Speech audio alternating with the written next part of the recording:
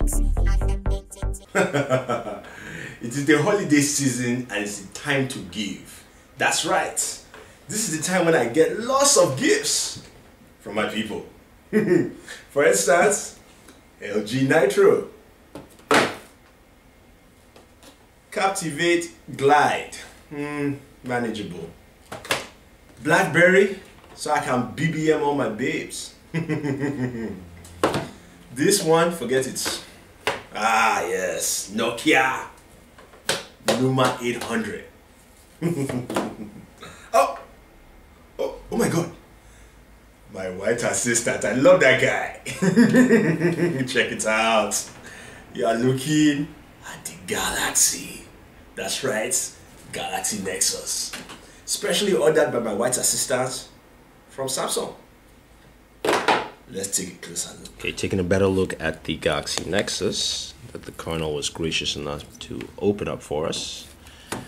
We have here, of course, our user guide, USB cables, headphones, Samsung basic, and a travel charger. That's pretty much it. So we'll open up our Nexus here.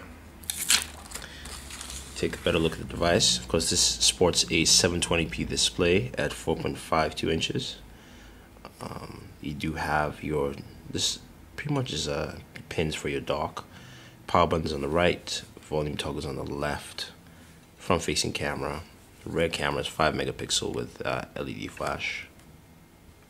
Open up the uh, battery bay here see the battery we have in here this is a 1850 milliamp battery. Do have your SIM card slot here since it's a 4G device. No micro SD storage at all. So this device is has inbuilt memory overall. Actually didn't close that properly. Let's do this. Well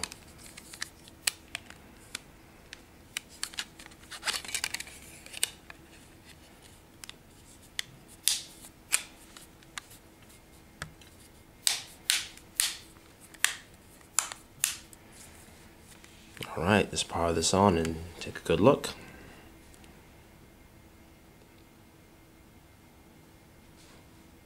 Now the main thing about the Galaxy Nexus is the 720p display. Um, also, there are no physical buttons on the device, so everything is on screen. Of course, just have to turn this on at some point. Yeah, everything's on screen, so you do have your on-screen buttons here. The only buttons that you find on the device are your volume rockers and your power button, and that's it the whole device is uh, fully operated on the screen. Of course, on the bottom you do have your 3.5 mm jack and your micro USB port.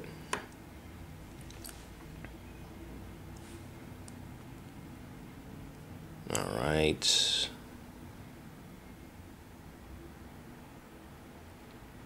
Starting animation, and here we have it. It says Friday, December 31st.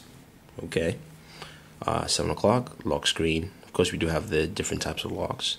And you can see here, there's your dock. Of course, you have applications here. You have your contacts, your uh, messaging web browser, and of course, your telephone. Below that, the on-screen buttons for back, your home, and of course, any apps. So basically, your tasks there, if you will. Home screen is very fluid. Now to access your apps, it goes through. You can go through apps. You can go through widgets. Ta uh, notification bars all black with blue accents. And at the top, it gives you access to your settings. Of course, we have settings for wireless network data usage. More here, of course, is NFC, tethering, hotspot, and of course, Wi-Fi Direct. Device, we have sound, display, storage, check out storage here. We have 28, which should be about 32 in total. Of course, your battery, battery management, and things like that. And we have, uh, of course, applications. See what's downloaded, what's running at the time, and all the applications you have on the system. Account sync, location security, screen lock. I can do slide, face unlock pattern. We'll do a face unlock to see what we can do. set that up. Continue. And basically just show your face in there. And do the lock we'll set that up later. Cancel this out.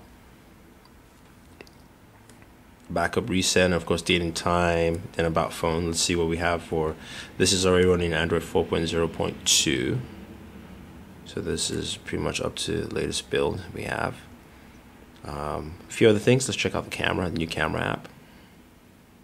You can see it's different. Tap to focus. You do have the blue button there so if we can bring something in here. Tap to focus there. Click on the settings. We have uh, of course flash your white balance exposure scene modes. You do have a couple scene modes here. Location of course picture size. Which is at 5 megapixels. Bring that down. We can switch to the front facing camera. Right there. And then of course you can switch from that to record mode. And also switch over to panoramic shot allows you to do the panoramic zoom. So that's pretty much it the camera app itself because the buttons do come up and show up there. When you take a picture so let's just quickly take a photo there and we can tap on that and we can share sharing locations already up there. Of course if you have a twitter app in, in, installed and things like that that will actually pop up and show you. About google plus bluetooth picasa and text and email